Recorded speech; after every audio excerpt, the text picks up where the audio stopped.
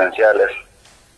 Eh, nuestro equipo fue totalmente perjudicado por, por los señores árbitros.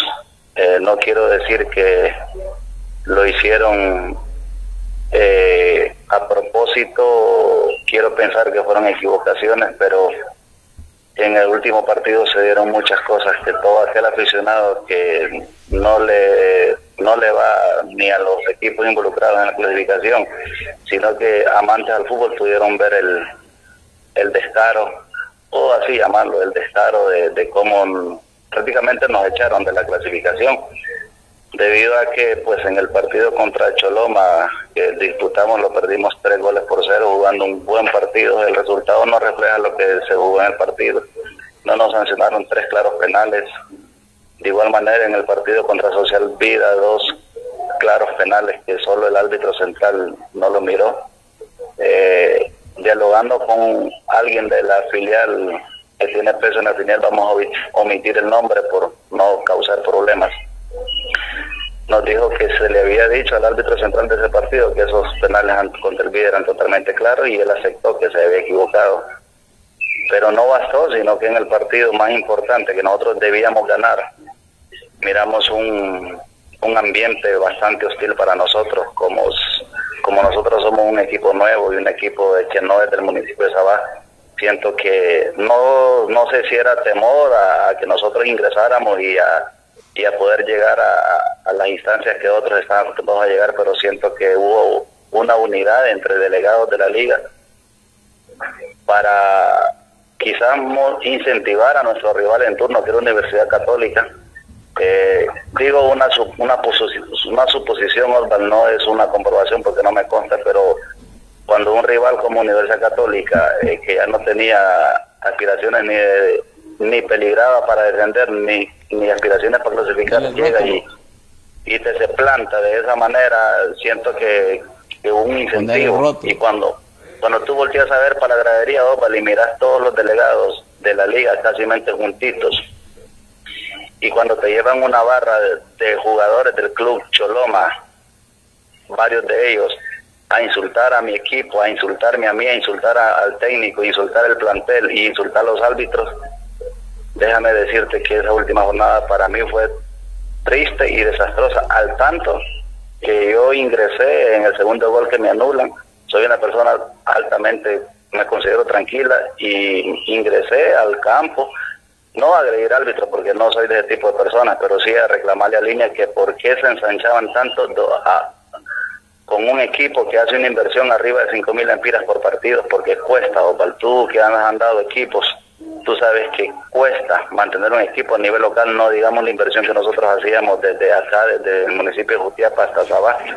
Nos sentimos realmente perjudicados eh, por los trabajos arbitrales y siento que en el partido último, siento que varios delegados de la liga que tenían ese temor, eh, no fueron, no usaron el fair, el fair play en el fútbol, sino que se se, ensancharon más en su beneficio personal que en lo que es el fútbol realmente. Y siento que nos sentimos mal y, frustrados porque Freddy, Freddy, no fue el rival. Freddy termina decepcionado de la Liga de Sabá con esta participación o con lo que usted considera que ha sido perjudicado? No, pues fíjate que no en sí decepcionado de la administración de lo que es la liga, sino de ciertos delegados que al mismo tiempo terminan siendo eh, directivos de la liga. No, pues al final es lo mismo, Freddy. Pues sí, pero siento, voy a mencionar un nombre personal, siento eh, que, digamos, en el caso personal, y lo voy a decir acá, eh, siento, todo el torneo sentí una como, no sé, como recelo, como envidia de parte del, del compañero Marvin Hernández del equipo Real Choloma donde nunca, nunca a pesar de que era un equipo nuevo y que nosotros andábamos haciendo las cosas bien y que nadie nos había regalado nada, sentí una, una como, no sé, como que estaba incómodo por ver el equipo Real Sol en primer lugar. Pues fíjate que, que, que esos comentarios, porque yo soy amigo en lo particular con Marvin, con Palma, con Osaba, independientemente de mis comentarios que a veces vierta acá, pero yo los comentarios los hago con el, con el afán de mejorar el fútbol. Y yo les decía, Real Sol eh, lo veo en la departamental y me decían, no va a estar Real Sol en la departamental. Ahora, no sé, ¿verdad? ¿En qué se basaban para decir que Real Sol no iba a estar en la departamental? Yo puedo seguir manteniendo esto eh, porque yo incluso me, me siento con ellos y hablo y les pregunto ¿qué, partido le falta a Real Sol, qué partido. Y entonces yo le decía, bueno, pero si le falta la Católica y la Católica está eliminada. No, pero la Católica va a venir a jugar el partido. Bueno, ya también depende de la preparación de, su equipo. No sé si la Católica haya sido motivada para otro por otro equipo para que le ganara el juego o se lo empatara. El problema, es que el la Católica hizo un partidazo, claro y yo los felicito a ellos por haber llegado. Si llegaron como buenos deportistas, con honor, pero ¿por qué no llegó Agricultor con honor al último partido contra Social Vida? ¿Cuántos partidos cuántos partidos no se presentó al Agricultor? ¿Por qué no llegó Agricultor eh, contra el mismo... Eh, ¿Contra Sabá? Contra Sabá. No sé, el caso es que Agricultor hacía en los partidos más importantes, llegó con siete, con ocho jugadores a regalarle puntos a equipos que ahorita están clasificados.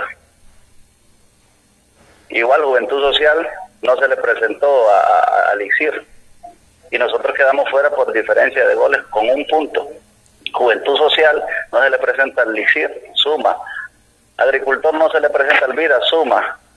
Agricultor se le presenta al, al, al Sabá. Con siete con siete, se le presenta al, al, al, al Choloma con ocho. Entonces, ¿y por qué en un partido tan importante la liga no le exigió a Agricultor presentar su plantilla? Sí, ahora, ahora Freddy, Eh, ¿hay alguna denuncia de tu parte en contra del arbitraje, en contra de la liga por esta, eh, eh esta eliminación que han quedado ustedes? más que todo en contra del arbitraje queremos sentar un precedente porque hay muchos rumores, muchos rumores, muchos rumores y quizás pruebas que la liga ha tenido del pasado de donde árbitros han recibido dinero por favorecer resultados de algunos equipos y no han hecho nada. Entonces es ahí donde yo culpo a la liga, donde aún sabiendo no han hecho nada por, por erradicar el problema. Porque mira, Osval, nosotros, mi afición se le fue encima a los árbitros con piedra y todo, cosa que eso no se debe permitir. O sea, el, el sábado nosotros nos vemos totalmente perjudicados.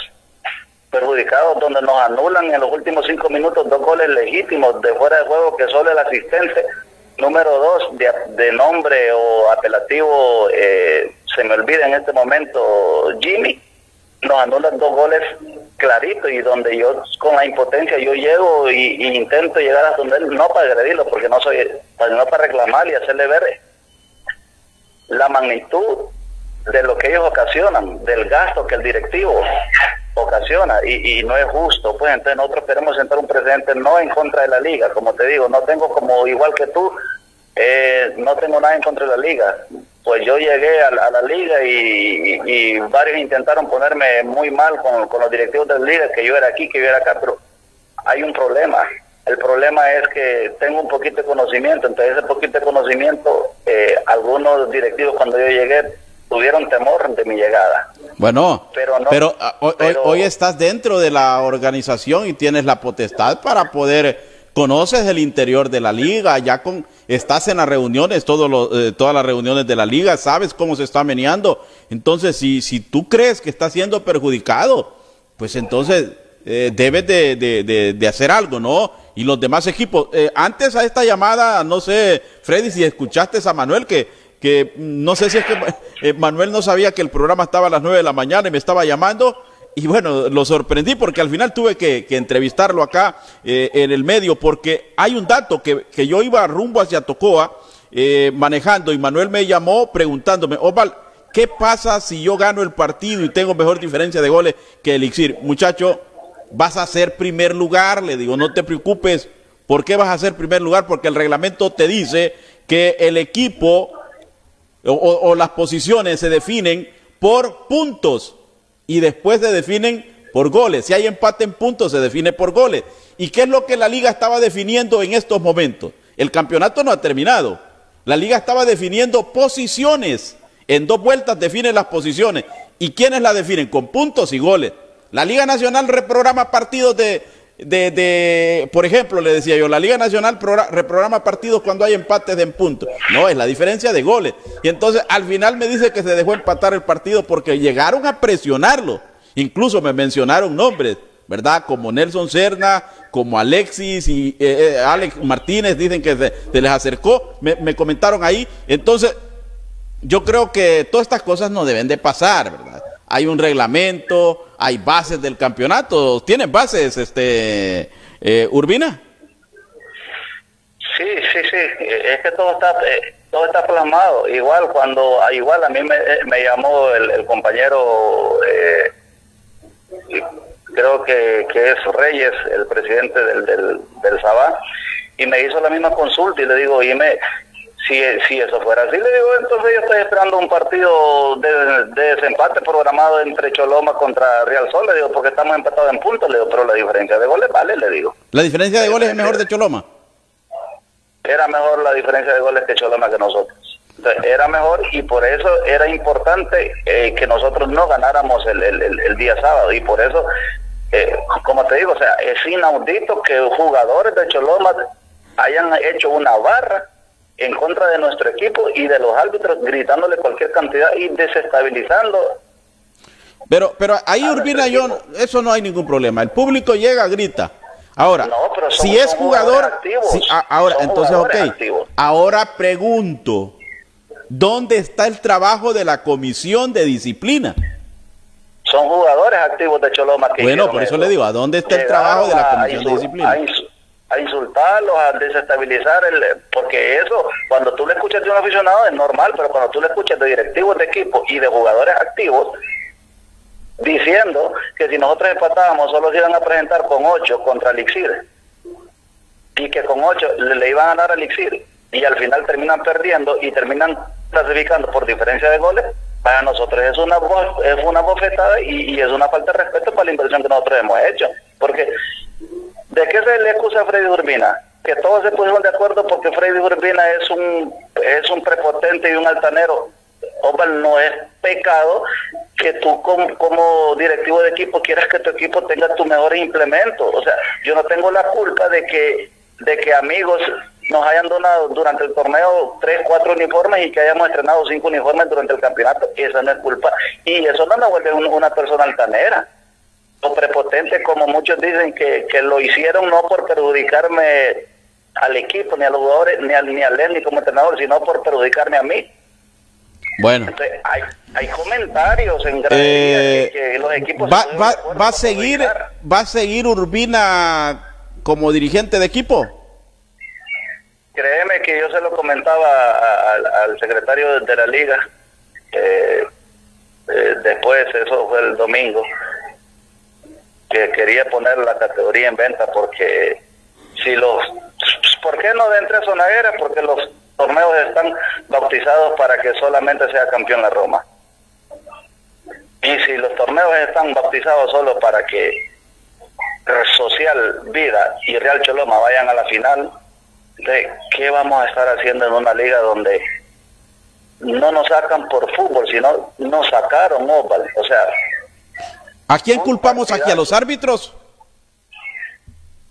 Los árbitros, pero siento que ellos no van a actuar por sí solos. O, sea, eh, ¿consideras que los árbitros están recibiendo bonos por, por partidos y para que puedan ganar X equipo? No me consta, pero el compañero Junior lo denunció en la sesión anterior que un árbitro de la filial se comunicó con uno de los patrocinadores de él pidiéndole dinero para ayudarle a salvar del descenso a Junior, a Lomitas. Un árbitro le pidió dinero al patrocinador del equipo Lomitas FC para salvarlo que no descendiera. Y eso lo denunció el compañero Junior en reunión. El día lunes en reunión de que había sucedido. No dio nombre de árbitro, porque igual solo le dijo que el patrocinador de él se lo había comentado y que no le había dado dinero porque el patrocinador estaba pasando por una situación difícil en Estados Unidos y que no pudo. Y ahí tenemos los hechos, Lomitas, igual que nosotros no clasificamos, igual que nosotros no clasificamos por decisiones arbitrales, porque no nos permitieron